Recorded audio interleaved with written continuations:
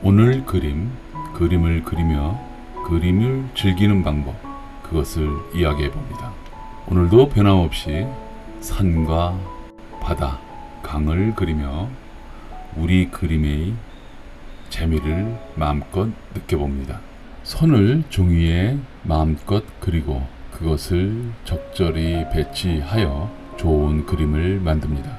만들어진 그림, 그것을 화가는 각 자의 방법으로 다른 이들과 그림을 공유합니다. 그림을 그리는 목적, 그것은 본인의 즐거움도 있지만 다른 이와 공유하면 그 기쁨은 배가 됩니다. 본 작가 또한 얼마 전 가입한 페이스북의 많은 동료들, 그들과 나의 그림을 나누니 그 기쁨은 배가 되고 더욱더 그림에 매진할 수 있었습니다. 나와 같은 유형의 그림, 전 세계 많은 이들이 그러한 그림을 그리고 같이 나누며 즐기고 있었습니다. 그림은 그리며 즐거움이 있어야 됩니다. 그 즐거움을 나누는 시간.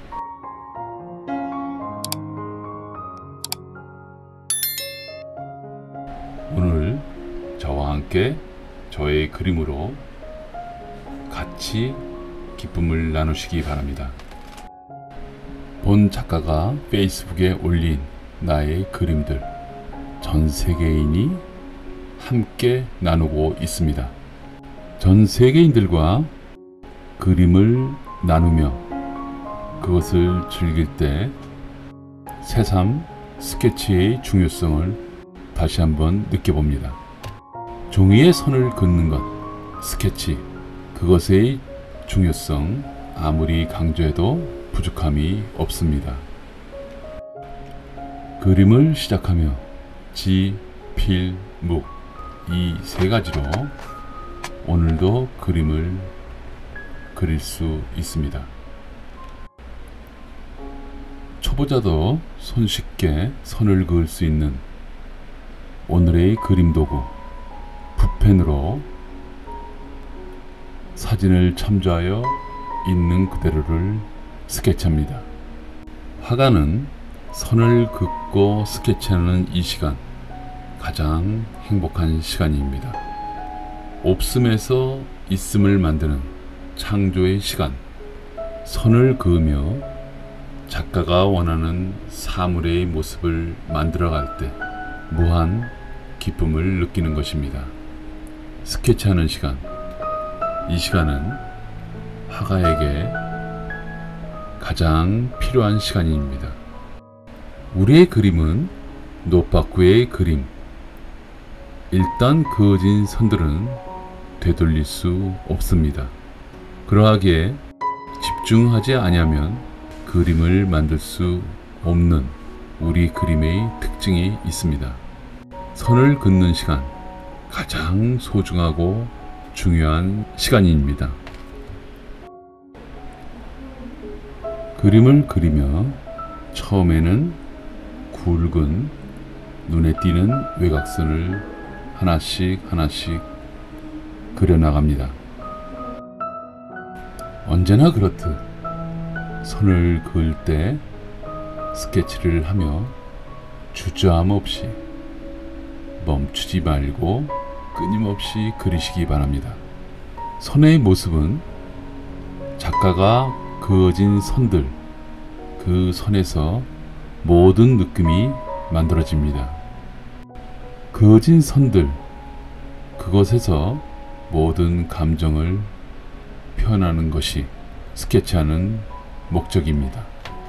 인물 그리기 또한 바위나 나무 그리듯 외곽선, 보이는 외곽선들을 하나하나 그리게 되면 어느덧 여러분들도 본인의 능력을 의심하듯 사람의 모습을 갖추게 됩니다.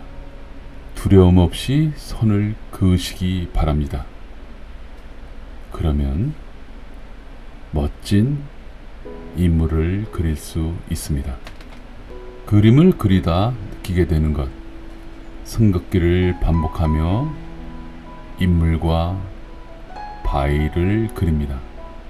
그러는 과정에서 여러분들 스스로 모든 사물들, 모든 선들은 반복이 있음을 깨닫게 됩니다. 그러한 반복, 우리는 그림을 그리며 모든 것에 반복이 있음을 경험하게 됩니다. 사진에서 보듯 많은 사람들이 있습니다. 그것들을 그리며 하나하나 그 그림들의 반복되는 선들이 있음을 경험하시기 바랍니다. 모두가 다른 듯 다른 모습을 취하고 있지만 그것들은 크게 보면 반복되는 하나의 패턴이 있음을 경험하게 되는 것입니다. 그림을 쉽게 재밌게 그리는 방법 중 하나 빠르게 패턴을 찾아보시기 바랍니다. 다시 한번 확인합니다. 우리의 그림, 먹으로 그리는 그림, 종이에 선을 일단 긋게 되면 그 선은 되돌릴 수 없습니다. 노빠꾸의 스케치.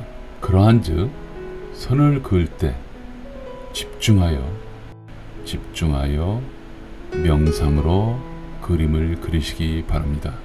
그림 그리기 목적 그림을 그리며 마음의 평안을 얻는 것입니다.